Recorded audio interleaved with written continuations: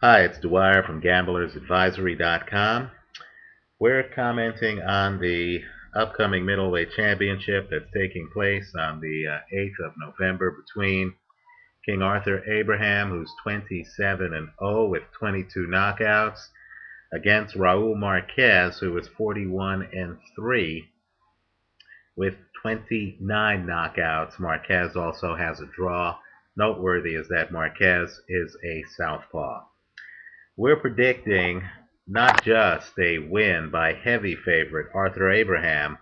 We believe that the way to make money in this fight is by betting on Arthur Abraham to win the fight by knockout. Marquez has been knocked out three times in his career by pressure punchers. Marquez is also 37 years old.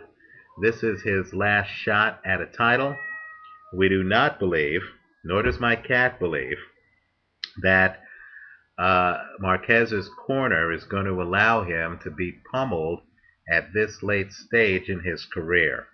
If it's not going to happen for Marquez, if he's not in the fight early, we believe that either he'll lose the fight by sitting on his stool and just getting um, counted out uh, by not answering the bell, or we believe that Marquez is going to go for broke and then end up getting knocked out in the mid to later rounds of this fight.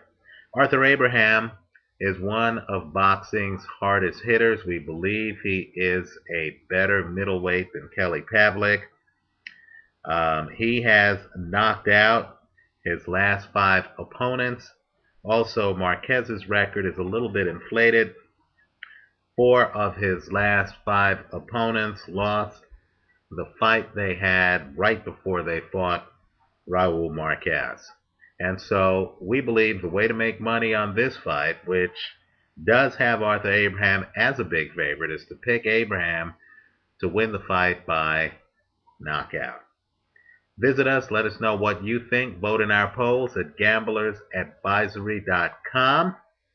Uh, let's also point out one last fact. The fight is in Germany. Arthur Abraham, an Armenian, usually fights out of Germany. The crowd should be very sympathetic toward him. He is the younger man in the fight. He does KO more than 80% of his opponents. We're picking him to win by KO here. Good luck, and remember, always use your head when betting. Thanks.